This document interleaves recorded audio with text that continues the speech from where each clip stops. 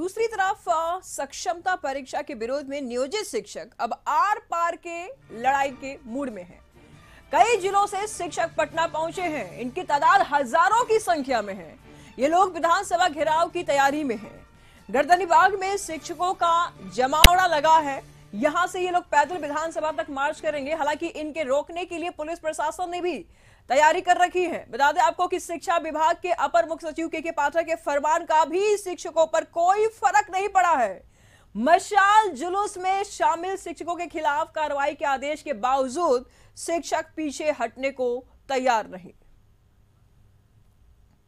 एक तरफ़ राजधानी दिल्ली में हज़ारों किसान जो है प्रदर्शन के लिए दिल्ली पहुँच रहे हैं या पहुँचने वाले हैं। दूसरी तरफ़ राजधानी पटना में भी पूरे बिहार से नियोजित शिक्षक पहुँच चुके हैं। तस्वीरें हम दिखाते हैं, ये तस्वीरें हैं पटना में गर्दनी बाग धरना स्थल की, जहाँ पूरे बिहार से हज़ारों हज़ार की संख्या में नियोजित शिक्षक पहुँचे हुए हैं।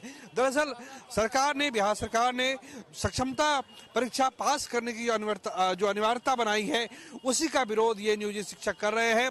ये जो नियोजित शिक्षक हैं पिछले 10 सालों से 15 सालों से, यहाँ तक कि 20 सालों से शिक्षा विभाग में काम कर रहे हैं नियोजित शिक्षक के रूप में काम कर रहे हैं, लेकिन अब तक जो है, राज्यकर्मी का दर्जा नहीं मिल पाया है। अब इस तो प्रीतम इस वक्त हमारे साथ बने हुए हैं। प्रीतम, सक्षमता परीक्षा के विरोध में नियोजित शिक्षक अब आर पार के लड़ाई के मूड में नज़र आ रहे हैं? जबकि अब कुछ ही समय पहले शिक्षा मंत्री ने यह बात साफ़ कर दिया था कि शिक्षकों को अब घबराने की ज़रूरत नहीं है। उनकी नौकरी अब नहीं जाएगी। क्या कुछ कहेंगे अब? क्या रिएक्शन है इस बयान के बाद शिक्षकों के? देखिए देखिए देखिए निशु क्या है कि देखिए भरोसा देना आश्वासन देना और उन आश्वासन को ज़मीन पे उतारना ये दो बड़ी चीज़ें होती है ये अलग अलग चीज़ होती है। आपको जानकर निशु यह आश्चर्य होगा कि जो जिनकी बहाली 2000 माफ़ करेंगे जिनका नियोजन 2005 में हुआ जिनका नियोजन 2003 में हुआ वो 20-22 साल से शिक्षक है लेकिन अब तक इन्हें राजकर्मी का दर्जा नहीं मिला है। इस वक्त जो है पटना जो गर्दनी बाग स्थल है आपको जहाँ तक आपकी नज़र जाएगी शिक्षकों की भीड़ का गवाह बना है। पटना दरभंगा बेगूसराय बांका भागलपुर मुंगेर मधुबनी सब जगह से जो शिक्षक है वो पहुँचे हुए हैं। वो अब उनका मांग है कि बिना किसी परीक्षा के राज्यकर्मी का दर्जा दिया जाए।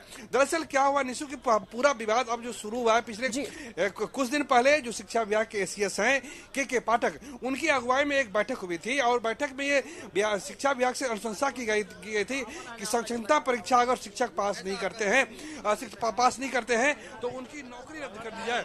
उनके तो अब लिहाजा इसी का विरोध करने के लिए शिक्षक यहाँ पहुँचे हुए हैं। कुछ शिक्षक है जिनसे हम बात करना चाहेंगे। ये क्या करना चाहते हैं? क्या नाम है? कहाँ से आए आप? हम छपरा से आए हैं। छपरा से आप शिक्षक हैं? जी। कितनी उम्र है आपकी? अंठावन बरस। तो रिटायर कर जाएँगे। हाँ तब। प्रीतम प्रीतम इनसे ये भी पूछिए कि शिक्षा मंत्री तो अब ये कह दिए हैं कि घबराने की ज़रूरत नहीं है आप लोग की नौकरी नहीं जाएगी। क्या कहेंगे इनके बयान पर? देखिए हाँ हम रुको ना। हम आपसे यह बताना चाहते हैं कि हम लोग की जब बहाली हुई थी तो बिहार सरकार के नियमानुकूल हुई थी। बहा- बहाली हम लोग की आठ में हुई थी। और नियमानुकूल हुई थी उसके बाद हम लोगों का दक्षता लिया गया। हम लोगों के कुछ साथी है जो टी टीईटी बीपीएससी के द्वारा पास करके आए। उन्हें भी फिर कहा, कहा जा रहा है कि परीक्षा लीजिए। ज़िंदगी भर हम ही लोग को परीक्षा लेते रहिएगा और विभाग को नहीं लीजिएगा। शिक्षक से क्या दुश्मनी है? आपने जो नियम बनाया उसके अनुकूल हमने इतना दिन नौकरी करने अब तो क्या अब तो के के पाठक कह रहे हैं कि नौकरी चली जाएगी। नौकरी य, य, यही तो है। के के पाठक नौकरी दिए है जो नौकरी ले लेंगे। एक एक महिला का इन्होंने नौकरी लिया हाई कोर्ट ने नौकरी उसको दे दिया। फिर हाँ बबीता दे दिया हम लोग भी लड़ करके लेंगे। जो के के पाठक करेंगे उसको सामना करेंगे। मेरी मेरी उम्र अभी नौकरी 20 साल बाकी है मेरा। और 2005 के नियोजित शिक्षक हैं और इस सरकार को हम पर शक था हमारी दक्षता पे शक था। हमने हमने दक्षता परीक्षा पास किया चौरासी परसेंट नंबर से पास किया है। मैं आपसे पूछना चाहता हूँ उसके बाद किस दक्षता की आप बात कर रहे हैं? क्या वो दूसरा सरकार दिया था इंडोनेशिया इंडोनेशिया का सरकार अगर हमारी परीक्षा ली थी? इसके बाद भी आप हमारी परीक्षा लेने की बात कर रहे हैं। मैं कह रहा हूँ मैं परीक्षा दूँगा। बीपीएससी से आप परीक्षा लीजिए। क्या इसके बाद भी मामूली शब्द का इस्तेमाल करके हम हमको आप ये मामूली शब्द का इस्तेमाल किसने किया? किसने किया है? मुख्यमंत्री ने किया है मुख्यमंत्री ने मन से किया है मामूली शब्द का इस्तेमाल। हम नहीं चाहते हैं कि मामूली शब्द का आप इस्तेमाल करें। आप बीपीएससी से लीजिए क्योंकि ये परीक्षा भी हम पास करेंगे तो वो उसी दृष्टि से आप हमको देखिएगा कि मामूली परीक्षा पास करने वाला हम तो है। का स्केल क्यों नहीं दे रहे हैं जो बीपीएससी से पास कर गया उसको? इसको स्केल का है। बांका से। बांका से- बांका जी। बांका से चांदन प्रखंड से। प्रखंड से आए हैं। बताइए कि कितने कब से हम चाहते हैं कि परीक्षा लेने की बात सरकार करते हैं। हम लोग परीक्षा दिए थे। के के पाठक साहब भी परीक्षा दे के आए थे। उन पर भी हमको शक है।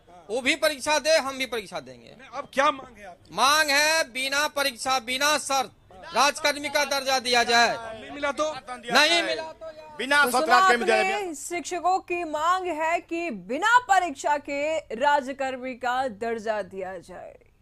इसी मांग को लेकर के प्रदर्शन किया जा रहा है। फ़िलहाल